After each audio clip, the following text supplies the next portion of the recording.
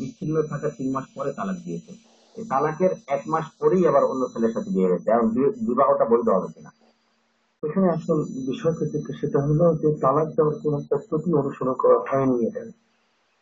ইসলাম তো বলেছে আত্মালা কুমার রতান বা ইনসাকুম বে মারুফিন ও তাসরিহুম বে হিসান একজন পুরুষ তার স্ত্রীর সাথে যদি বনিবনাত না হয় তাহলে অনেকগুলো কাজ আগে করতে হয়। যেমন নিজেদের মধ্যে বনিবনাত হওয়ার ব্যবস্থা যদি না হয় তাহলে সালিশ না হলে বাপের পক্ষে মানে পুরুষ এবং মহিলা বা স্বামী পক্ষে স্বামীর পক্ষে দুজনের পক্ষে মুরব্বীরা বসে মীমাংসা চেষ্টা এটাও যদি না হয় তারপরে থার্ড মানে আলাদা রাখে। আলাদা রাখা। এবং তাকে ওই যে বিছানা আলাদা করে দেওয়া তাকে নিরপহার করা এগুলো সবকিছুতেই যদি না আসে তারপর সেই সালিশ পরেও যদি না হয়, তখন তাদের মধ্যে ডিভোর্সের প্রসেসিং শুরু হয়।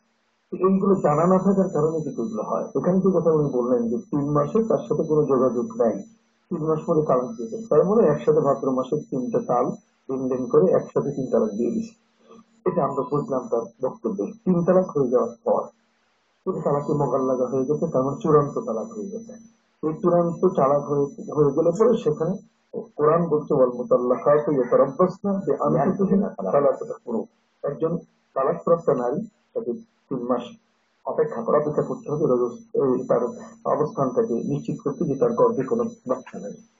এখানে এক মাস পরে আবার আরেকজনের সাথে বিয়ে করা। এটা কিন্তু ইসলামে তার বিয়েতেই যায় হয়নি বিয়েটাই হারাম হয়নি এটা তো হারাম হয়ে গেছে। তার মানে এখন যা হচ্ছে সব জানা। তো এই যে বিষয়টা আমরা তো শরীয়ত মানি, কিন্তু আমরা তো মেনে না যে বাঙালির পিতা বর্তা তাকে রোগ না কিছুটা মানলাম, আর কিছুটা মানলাম না। তার মানে তালাকটা মানতেছি আমার তালাকের পরে যে উদ্যোগ পালন করতে হবে, সেটা মানি না, সেটা মানতে তার আগে কিন্তু, যেমন অনেক সময় দেখা আছে, যে আছে কোনো মহিলার যদি স্বামী মারা যায়, তাহলে সেখানে ইসলাম যদি বলছে তার উপরে যদি হজ এর আগে ফরজ হয়ে থাকে স্বামী মারা যাওয়ার কারণে যদি চার মাসের ভিতরে তার হজের মাস পড়ে। তাহলে সে হজেও যাবে না। কারণ তার চার মাস ইজ্জত পালন করবে উদ্যোগ পালন করতে হবে তাকে বাইরে সফরে যাওয়া যাবে না। হজ ক্যান্সেল করতে হবে তাকে। এই যে ব্যাপারটা এখানে একজন মোতাল্লাকা তালাক প্রাপ্ত নারী সে তার ইজ্জত পালন করবে তিন গজগর গজস্রাব এই তিন গজস্রাব না করে তার আগেই আরেকজন তাকে বিয়ে করল। যে বিয়ে করেছে সে শরীয়তের খেলাপ করেছে। এবং উভয়ের মধ্যে এগুলো সব ব্যবচার ছাড়া অন্য কিছু হয়নি। প্রশ্ন করা হয়েছে হ্যাঁ প্রশ্ন করা হয়েছে এখানে যে এই বিবাহ শুদ্ধ হয়েছে কিনা। না এই বিবাহটাই শুদ্ধ হয়নি। বাকি দেনমোহরের দেনমোহরের প্রশ্নই নেই বরং এখানে শাস্তির যোগ্য অপরাধ করেছে। তবে যেহেতু এরা দুজনে বিয়ে করে ফেলেছে এই জন্য ওই মেয়াদ থেকে অপেক্ষা করতে হবে। তার মানে ওই তিন গজ তিন গজস্রাব পর্যন্ত বা তিন মাস পর্যন্ত ওই মেয়েটাকে অপেক্ষা করার পরে পুনরায় তাকে বিয়ে দিতে হবে।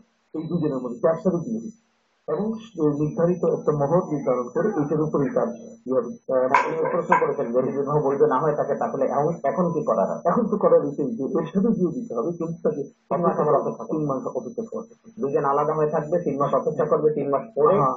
দুজনের সাথে আবার বিবাহ। আবার কত কারণ তাদের বিবাহ হয়নি। এখানে আরও সমস্যা আছে বড় সমস্যা আছে সমস্যা হলো যদি কোনো ভাবে মহিলার গর্ভে যদি কোনো সন্তান সন্তান থাকে। তাহলে সে সন্তান নিয়ে ঝগড়া হয়ে যাবে পুরো। তার কারণ এই ছেলে বলবে যে তোমার আগের স্বামী।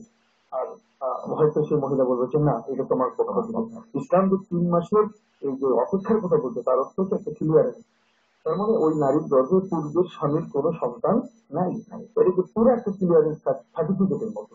শুধু সেটাকে ভাইলেট করেছে কাজে ইসলামের দৃষ্টিভঙ্গিতে এটা চরম ভাবে অন্যায় করেছে দুজনে।